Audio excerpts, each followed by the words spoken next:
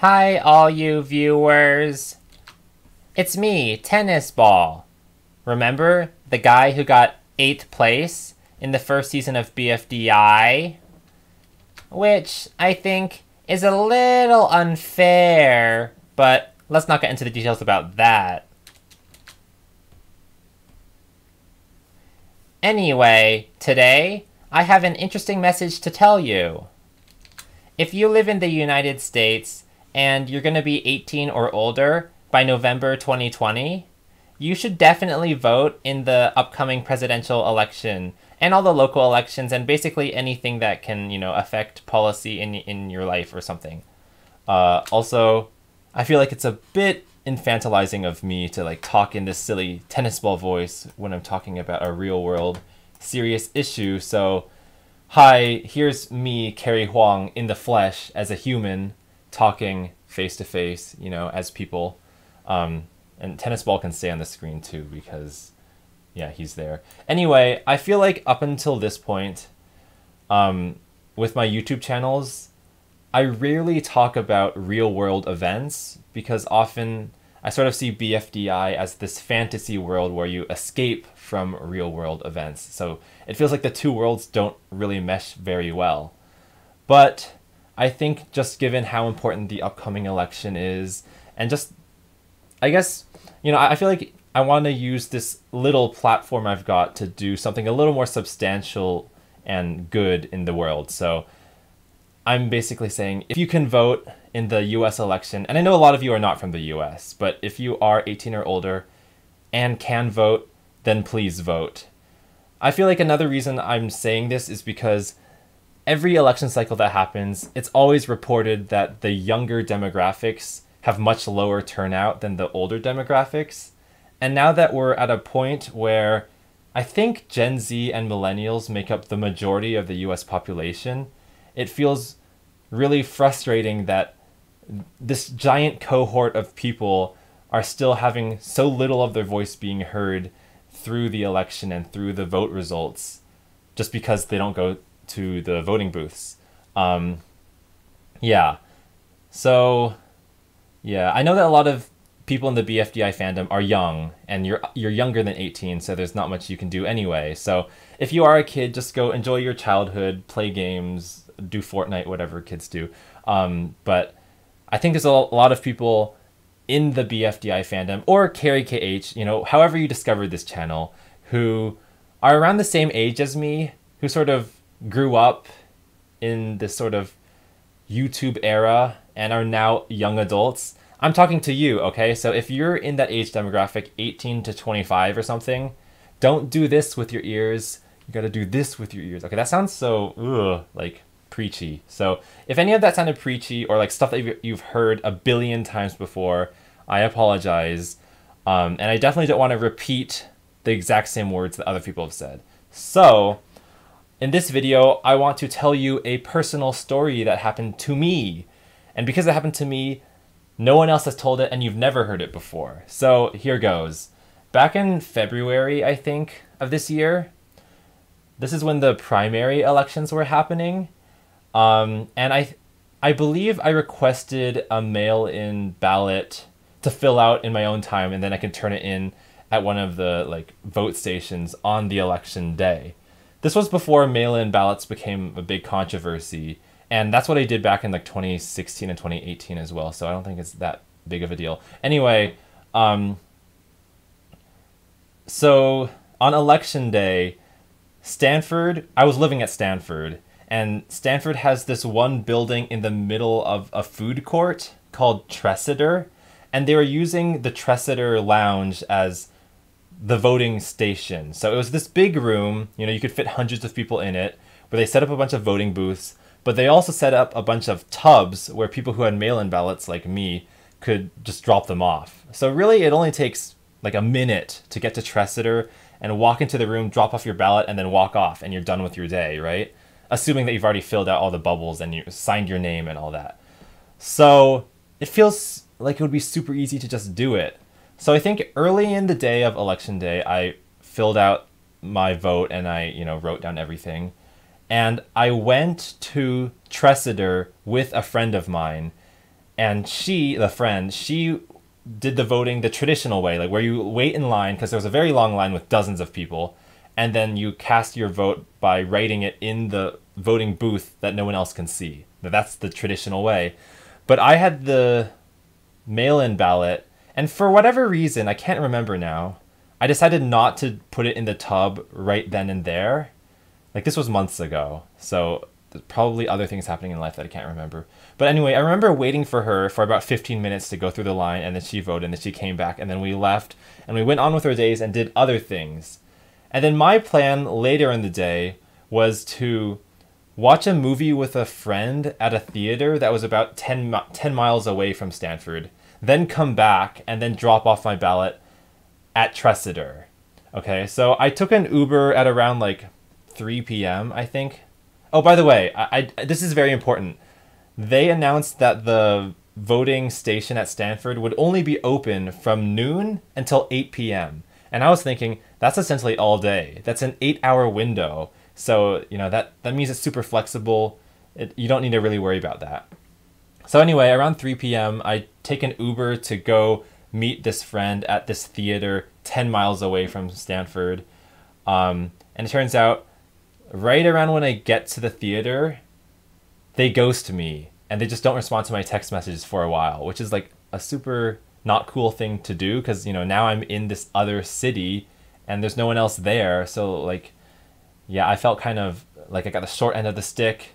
Um, so you know I was really angry about that whole situation, but I was like, you know what, I'm not gonna let this uh, shitty situation ruin a fun day. So I decided to like just explore the city for a little bit, a little bit, and have dinner there, just on my own. I know it sounds kind of like loner like, but you know we can all admit that things like that have happened to us. There's nobody who's never had dinner by themselves, right? Okay, it happens. Anyway, um, I wasn't quite worried about getting back to Stanford in time to cast my ballot because I had allotted at least an hour to get back, and it's only 10 miles away. But, you know, since I was using Uber on my phone to as my transportation back, I called the Uber, and the Uber took longer than I expected to arrive. And then once I got into the Uber, it took longer than I expected to get back to Stanford because there was lots of traffic. I'm not really sure why. So I remember I was checking my phone while I was in this Uber car, and it said 750 on it and I was like, "What? How is it already 7:50? I thought I allotted over an hour to get back before 8 p.m." And I was like starting to get nervous. So that was not a good situation. I didn't want to tell the driver like go faster because um, I didn't want to put pressure on them. But basically, when they got to Stanford, it was like 7:58. I remember it was like almost almost 8 p.m. So I was like, I'm just I gotta run to the the Tresidder and turn in my vote because my vote was still sitting in my backpack because you know I take my backpack everywhere or whatever. So when I got to Tresidder, um, here's the big reveal of the story. It was 8:04 p.m., which means that voting had technically ended four minutes ago, which is super embarrassing on my part. And I texted my family, and they were super embarrassed as well. Like, how did I let this happen to me? But anyway, here's what happened. Because only four minutes had passed since the, I guess, voting period had ended, this makes it sound like TWOW, but whatever.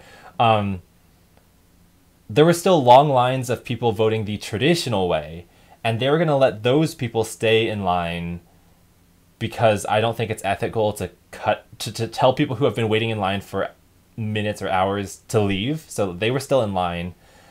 Um, and there's still lots of government employees telling people where to go and where to turn in their votes. So there's a lot of activity still happening at Tresidder.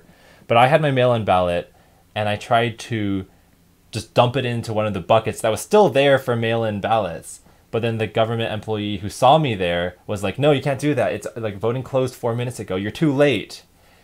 And I remember trying to negotiate them with them about this issue for like a minute or two. But eventually I realized like this just wasn't gonna work. Like I wasn't gonna be able to convince her to count my vote because there must be some regulation or rule that means that like I just can't uh, deliver my vote. So in the end, my vote was not counted. I never turned it in, and that really made me feel bad because you know, the right to vote is one of the privileges you have as a US citizen, and it only comes around once every two years. So you should really take advantage of it while it lasts. And the fact that I missed it by four minutes because of traffic, or because my Uber took longer than I expected, or because I got ghosted, or whatever, like it, it's just so many like stupid things that I let happen that I, I should have prepared for that led to, you know, me throwing away away my right to vote just made me feel like, oh man, I'm just an idiot. I'm a fool. And um, I think that like I'm trying to think why I didn't just get in line and, and try to cast a vote the traditional way. But I bet there was something like, oh, you have to fill out some forms and you know register to vote the traditional way, and like that was closed as well. So you know, if I could have voted, I would have. But basically, after that whole incident happened and after I told friends and family and they all kind of like laughed at me but also felt bad for me, I sort of vowed to myself, never again. Basically, if I ever got the chance to vote again, I'm going to take it and I'm not going to let these silly quirks of my daily routine stop me from getting that. So, given that that was the primary election and the general election is much more important, um, and that's coming up, I'm definitely going to vote in that, of course. And I hope that some of that energy of like, you know, we gotta vote if we have the right to, I hope that can rub off onto some of you. Um, because I'm definitely feeling it, and I think that like that came from my personal experience of being super silly like that. Uh, yeah. I, okay, so I, I I've done this video like two takes. So I don't know if I already said this, but um, yeah, I already said about like like you know if I only convince one person to vote who wouldn't have otherwise, then it's all worth it for me. Um, yeah, and the other thing I was gonna say is that I like my personality is like I don't like to divide people, and I don't want to split. Um, I don't want to say anything that's going to alienate half of the audience watching. So that's another reason why I never bring up these topics in any of my videos. But I hope we can all agree that it is just universally a good thing if more people have their voices heard in these elections because I think ideally everybody's voice would be heard. And I, I know some countries have mandatory voting. I mean, that's a whole other discussion, and I'm not saying that we need to have that. But the closer we can get to um, the voices of the entire population, not just a sample of the population, the closer we have like an accurate uh, uh, picture of you know what the population actually wants. So the more votes you cast, the closer you get to that true population voice. Uh, yeah, I don't know what I'm saying at this point, but I think I know. What, uh, I think you know what I mean. Yeah. So yeah, I guess that's the end of this video. I don't really know what else to say. Um, yeah, and I know that a lot of U.S. states you can already like one you can check to see if you're registered to vote already. I'll, I'll put links in the description. But I know that early voting starts in a lot of states around October 5th, and that date is coming up really fast.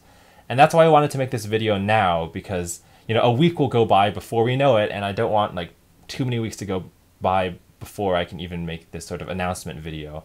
So while it's still September and while the election is still over a month away, I want to just kind of, you know, put my flag in the sand and say like, you know, I, I have tried something to um, encourage people to vote before it's too late. Because in 2016, I didn't do anything um, to encourage people, and I think I don't want that to happen again. Yeah. Okay. So this is this is my Humany video of the day. I know it's quite long. It's definitely longer than what I did yesterday, which was 12 seconds. Oh, embarrassing. Um, and then I'll probably you know make other silly videos after this one. But yeah, thanks for watching. I guess we could finish it off by having Tennis Ball say, um, I don't know what what, she, what should he say? Go vote right now. Have your voices be heard. And I will see you all later. Now I gotta go have my picnic with golf ball again. Goodbye.